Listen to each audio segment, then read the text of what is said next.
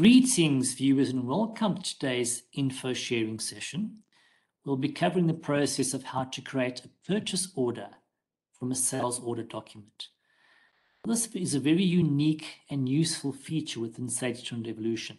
It allows you to create a purchase order specific to the line items and quantities on a pre-processed sales order. Let's see exactly this process unfolds. First of all, I'm going to go through to order entry transactions. and I'm going to go through to our sales order and process a sales order for certain stock items. Right, so I've got my sales order screen. I'm going to simply go and specify my customer and then the line items that the customer is going to has ordered. So let's just specify some stock items.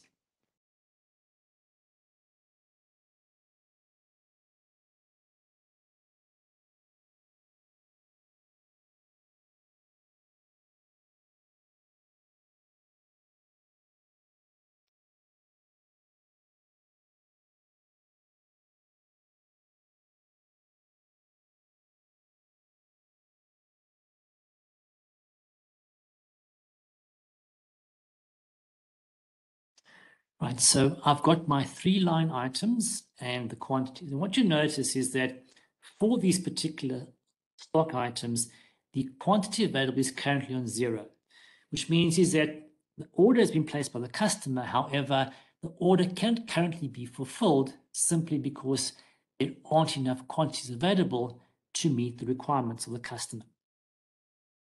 So I would then need to once the order has been placed, I then need to go and process a purchase order from our supplier to bring these items into stock and therefore be able to fulfill the sales order. Right, so I've got my details there, I've got my sales order number, and now I can simply go and process or place the order. Right, the order has been placed and I'm going to close the screen for the meantime. Right, so this point in time, I'd need to now process a purchase order in order for me to receive quantities of those items. I'm going to revert back to my order entry transaction, sales order.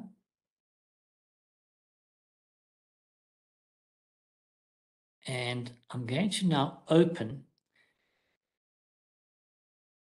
the screen and locate the sales order that I've just processed. So I'm going to say unprocessed sales orders, specify the transaction date, and then just the customer who placed the order. Find. And there we have our unprocessed sales order. And what you notice is in the top portion of the screen, we've got an option that says create purchase orders. I'm going to use that feature to create a purchase order specifically with the details on the processed sales order. Right, highlighted the sales order, click on create purchase order.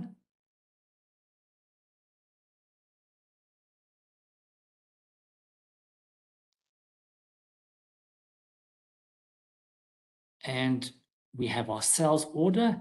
It's going to expand the sales order information. And we have our three line items placed on the sales order. Now it's simply a case of specifying which supplier am I going to order those items from. So on the supplier dropdown, I can then specify the supplier and second line item. And what you'll see here is that we're allocating a supplier per line item in the sales order. And it's very probable or certainly can happen that um, there may be multiple suppliers that you're ordering from. So you could have multiple suppliers on these particular line items. So let's just, on our third line item, I'm now going to select a different supplier. Right, so lines one and two, we're ordering from the same supplier. However, the third line item is from a different supplier. And now it's a case of we can just validate the options we've entered. Right, no errors. And I'm now simply going to say post the batch.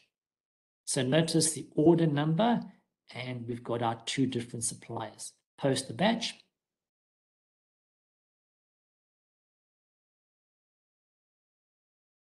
Update the batch. And the orders have been successfully placed. Right, so let's just go see what is unfolded after we've created the purchase order from a sales order. So I'm going to close this option and I'm going to go into my purchase order screen. So order entry transactions, purchase order.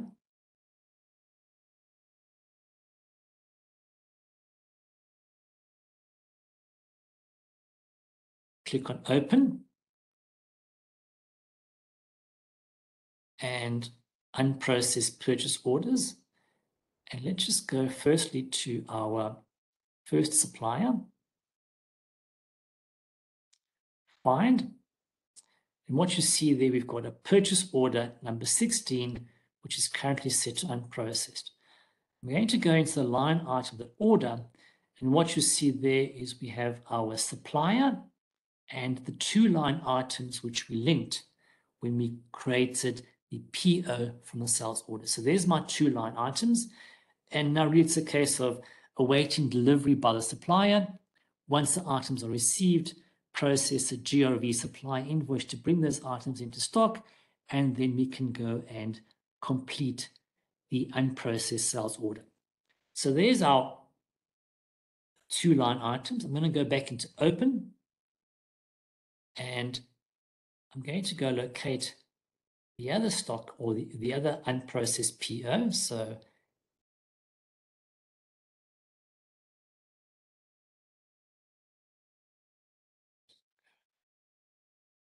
yeah.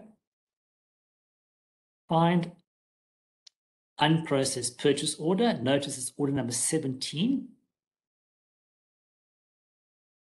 And there we have line item number three, which we ordered from our other supplier, which is now has been converted to an unprocessed purchase order, once again awaiting delivery by the supplier, and we can then process a GRV supply invoice, complete the transaction, and we would then have those three line items from the two separate purchase orders in our stock, and we can then at that point go and complete or fulfill the unprocessed purchase order. So as you can see, a really quick easy and efficient way of converting or creating a purchase order from a sales order. And the purchase order is going to be specific to the line items that were generated from the sales order. I do hope you've enjoyed our presentation today. Thank you for tuning in. It's over and out for me and goodbye.